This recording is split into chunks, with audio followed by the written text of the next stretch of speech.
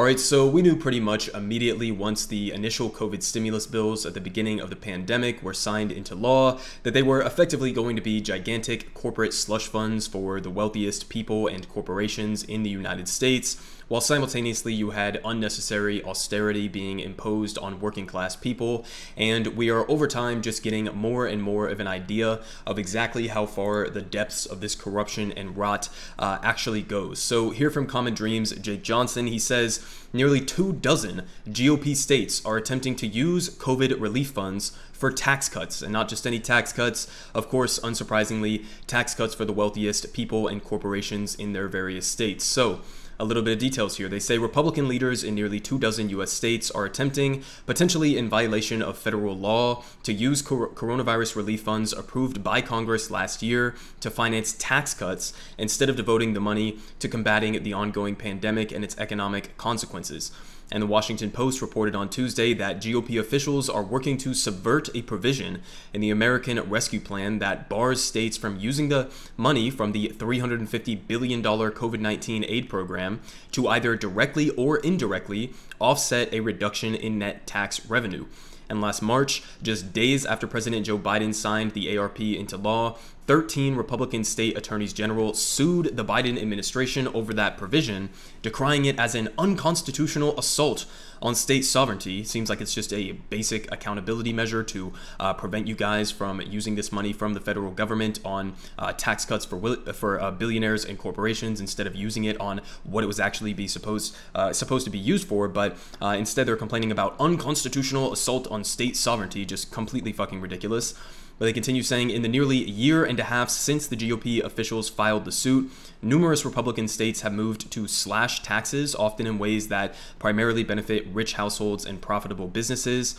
And Whitney Tucker of uh, Whitney Tucker and Cody Novak of the Center on Budget and Policy Priorities noted earlier this year that Iowa, one of the states that joined the legal action against the Biden administration, replaced its gradual per- or graduated personal income tax with a flat tax of 3.9% while retaining credits and deductions that would allow wealthy Iowans to pay even less.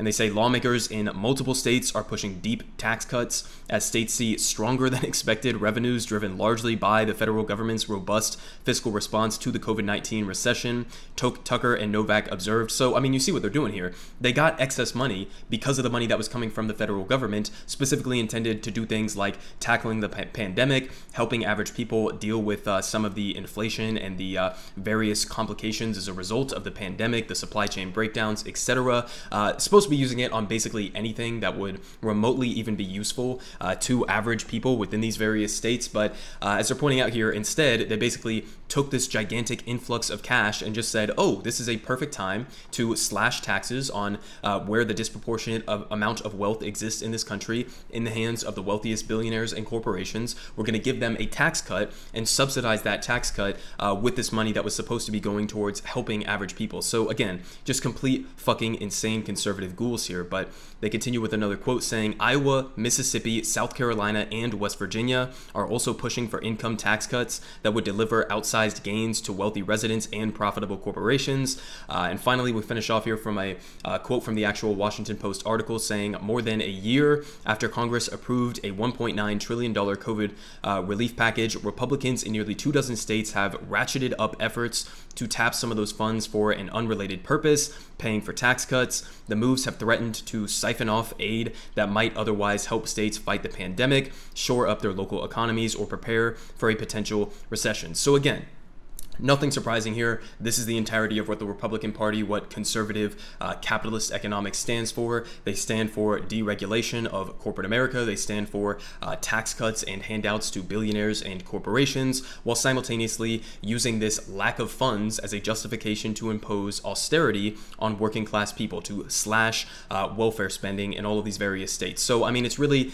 the same exact tricks that we have seen from conservatives and from many conservative liberals uh, for decades in this country country. I mean, this is basically just neoliberal economics, but uh, it's again nothing surprising there. And also, it's coming at a time uh, where corporations in the United States have seen record profits. So, uh, not exactly the time that you would think that these corporations need some sort of help in the form of tax cuts. In fact, if anything, you would use this as an opportunity to justify doing the exact opposite of that and taxing some of these excess profits that uh, corporations and billionaires have been making throughout the pandemic. We know that dudes like Elon Musk, Jeff Bezos have uh, you know quadrupled or uh, even more so uh, uh, lifted their personal incomes and personal wealth they have at their disposal. So I mean, we've seen billionaires and corporations doing better than at almost any point in uh, modern American history. And what is the response to that from the Republican Party? It's to give them even more money while slashing a lot of that spending that should have been going towards average working class Americans. But again, this is the context of what it looks like to live in a completely dystopian capitalist hellscape, uh, as is the United States. But on top of this, we also know the deeper rot that was within these uh, COVID relief packages. And keep in mind, this isn't just like overlooking the uh, issues here. This wasn't like, oh, we accidentally installed some loopholes that allowed corporations and uh, Republican states to take advantage of this. No, this was basically the idea in terms of how the legis- legislation was actually crafted. They wanted it to be used for shit like this. And just as a another reminder in terms of what corporations have been up to throughout the pandemic, here from the Center for Public Integrity, they say these companies took $1.8 billion in federal aid to save jobs. They laid off 90,000 workers anyway. And this is just one specific example, but you can apply this across the entire American economy. Basically, the series of events that we had is you had trillions and trillions of dollars that were injected into the economy at the beginning of the COVID pandemic. We had the Federal Reserve that was dumping trillions of dollars to prop up the stock market during that initial crash. They saved the you know Wall Street goons and uh, protected their bottom line while average Americans were suffering. Then they gave trillions of dollars more through legislation to uh, corporate America and the wealthiest people within the country. And then those corporations turned around. They fucked over their workers. They didn't have adequate uh, standards within their workplaces, as we saw, like with Chris Smalls and Amazon. He was literally fired because he was protesting unsafe working conditions. And uh, you have gigantic multi billion dollar corporations who are not treating their workers well, who are uh, laying off workers, even though that was su- supposed to be something that was uh, preventable within this package. And uh, then you turn around and you have a situation now where the Federal Reserve is going to be stepping in and instead of addressing any of the corporate corruption, the corporate price gouging that is uh, obviously ongoing within the American economy, they are going to be raising interest rates, which is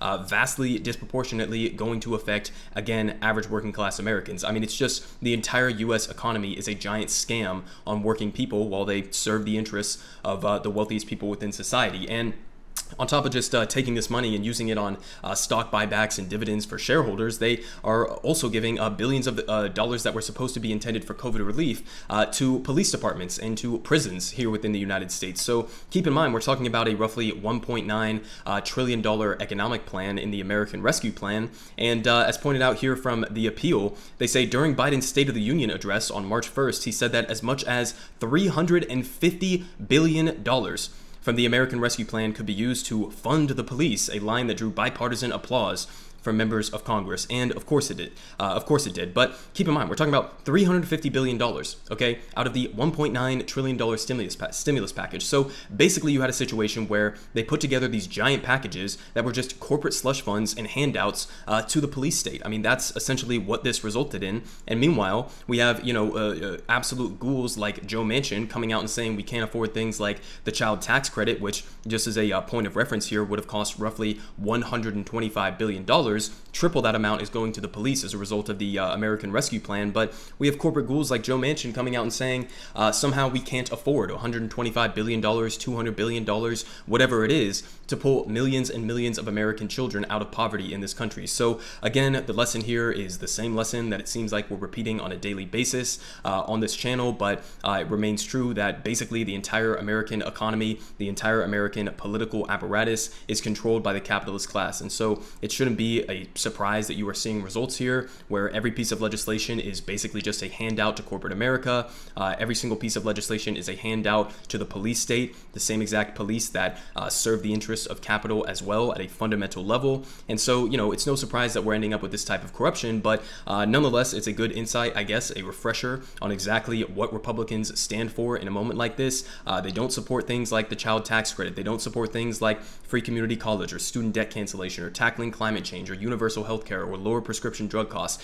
uh, or uh, uh, increasing the minimum wage or legalizing marijuana. They don't support any of the most popular provisions within the United States. By the way, one of the single most popular things that was within uh, the Build Back Better plan, which got eviscerated by corporate Democrats and Republicans, was uh, tax hikes on billionaires. That was, I think, literally the single most popular part of the uh, Build Back Better plan that was tanked. So, you know, I mean, you want to talk about who does our government serve? It serves the interests of the billionaire class. It serves the interests of corporate America, and that is a very bipartisan uh, consensus thing that is happening and has been happening for decades in this country. It just so happens that in this story we have uh, Republican ghouls across a dozen at least uh, states who are now redirecting funds that should have been going to helping uh, average people within their states is now going to be going basically towards the police, and uh, on top of that, towards funneling money towards the richest uh, billionaires and corporations in the country.